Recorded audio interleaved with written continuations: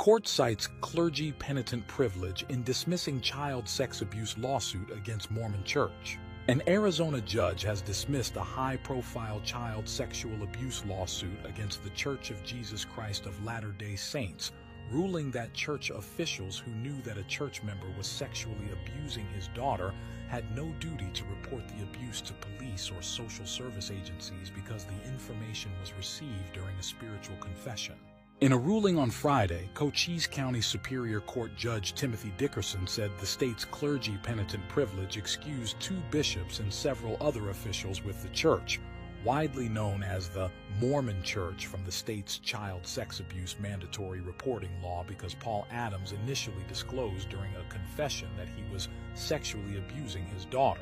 Church defendants were not required under the mandatory reporting statute to report the abuse of Jane Doe 1 by her father because their knowledge